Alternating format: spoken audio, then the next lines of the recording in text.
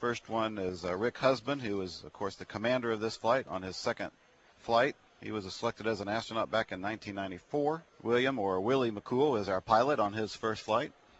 On this mission, he'll be responsible for maneuvering Columbia as part of several experiments mounted in the shuttle's payload bay.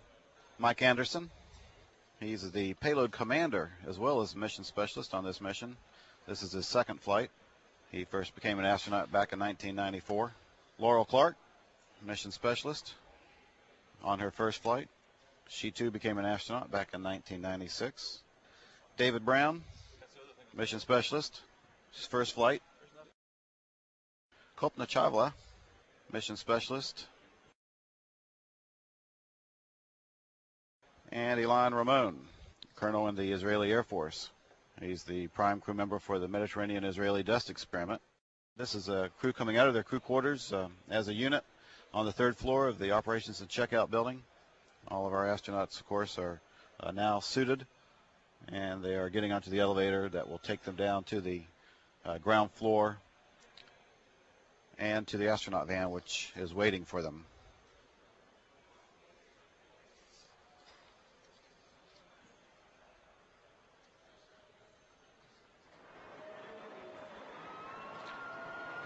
And our astronauts coming out now as they are making their way to the astronaut band.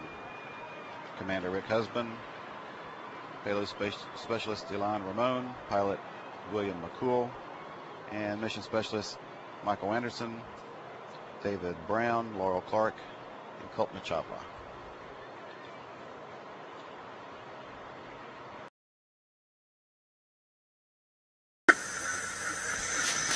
Commander Rick Husband, as he is currently in the White Room at the launch pad, making his preparations to enter the vehicle. And next to enter the vehicle will be uh, the astronaut representing uh, the Israel Space Agency, Ilan Ramon, Ramon is a colonel in the Israeli Air Force. Back with a view of the White Room, we have our pilot, William, or as he likes to be called, Willie McCool.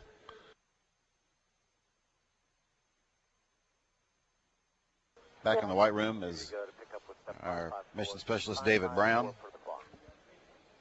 This will be his first flight. Again, the mission is scheduled to last 16 days, and with an on-time launch today, we'll see a landing back at Kennedy Space Center about 9 a.m. on February the 1st. Houston, PS1, contact. Good morning, Ilan. Houston has you loud and clear. How us? Loud and clear, Coach. Good morning. And the NASA Test Director, Jeff Spalding, has given approval for the crew to begin entry into the vehicle. Again, the seven-member flight crew uh, ha have arrived at the pad and they are now in the process of entering the vehicle to occupy their assigned seats. Commander Rick Husband, the first to enter the orbiter, as is the tradition and the custom for the shuttle commander, and he will then be followed by his fellow crew members, each taking their seats in the orbiter's flight deck and on the orbiter's mid deck. And we have a camera that is stationed in the on the flight deck as we can watch the crew members uh, climb into the vehicle and take their seats. Of course, for the next two and a half hours uh, prior to the opening of the window, uh, once they're in their seats, they will be basically laying on their backs in a uh, prone position. And you can see husband climbing in uh, somewhat difficult, uh, cramped quarters there.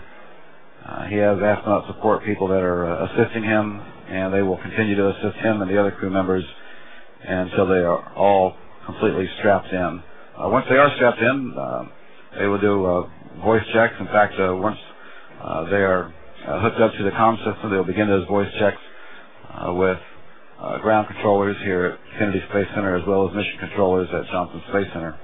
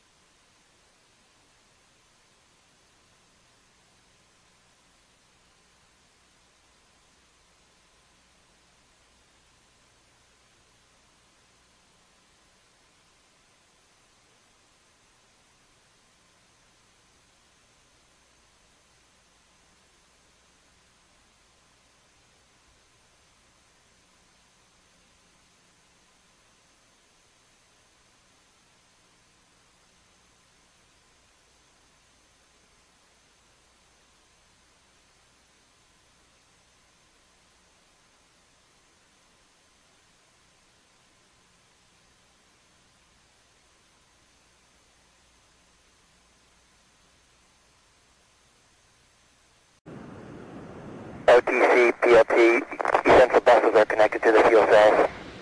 Copy that. Go for orbiter access arm recheck. CDR, OTC. OTC, CDR, go. Rick from our crew to yours. Best wishes on your international mission to explore the science, peace, and potential that only space travel can offer. Thank you very much, uh, Ray, and uh, thanks for all the great work from uh, your team and all the other folks here.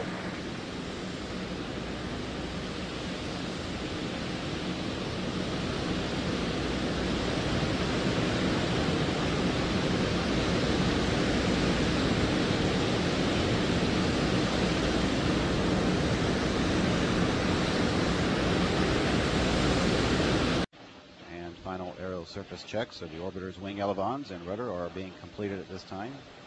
This verifies the orbiter's hydraulic systems. And next we'll see the three main engines be gimbaled as a final test prior to launch.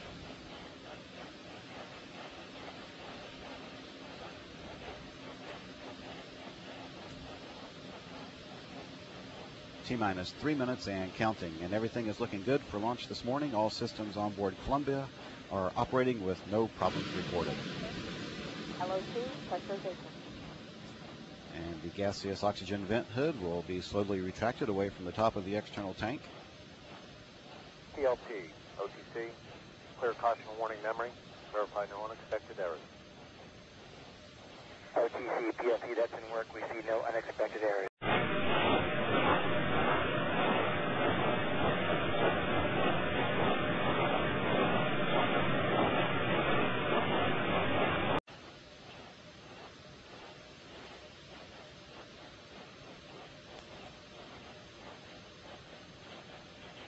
Columbia, for the flight crew, close and lock your visors and initiate O2 flow. T minus two minutes and counting. O2 flowing, thanks a million. Let's go for ET LH2 pressurization.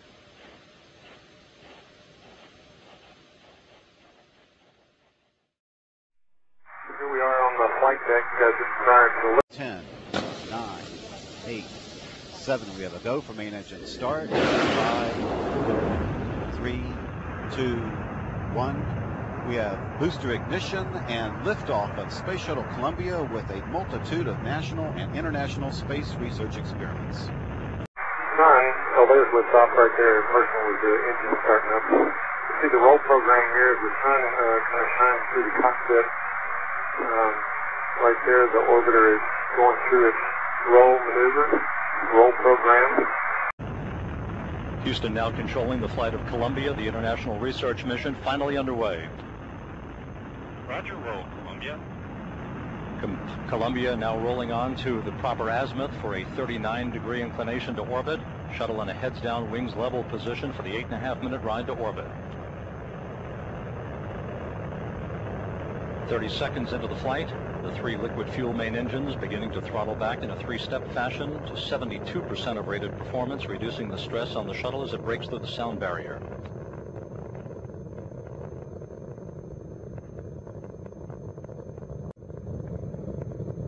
Columbia already two and a half miles downrange from the Kennedy Space Center, four and a half miles in altitude. The main engines beginning to rev up to full throttle, 104% of rated performance. Columbia, Houston, your go at throttle up. We copy, go and throttle up. The throttle up call acknowledged by Commander Rick Husband, joined on the flight deck by pilot Willie McCool, flight engineer Kalpana Chawla, and mission specialist Dave Brown. Mission specialist Laurel Clark, payload commander Mike Anderson, and payload specialist Ilan Ramon seated down on the middeck. One minute, 26 seconds into the flight. Columbia 10 miles downrange, 13 miles in altitude, traveling at 1,800 miles an hour.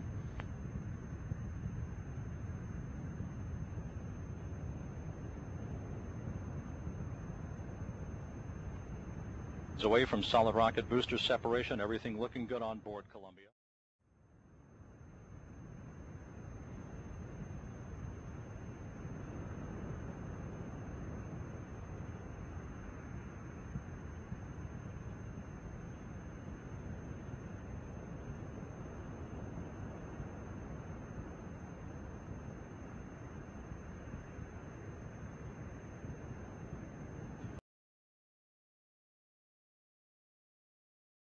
Solid rocket booster separation confirmed. Guidance now converging. Columbia's onboard computers commanding the main engine nozzles to gently swivel, aiming the shuttle for a precise target in space for main engine cutoff.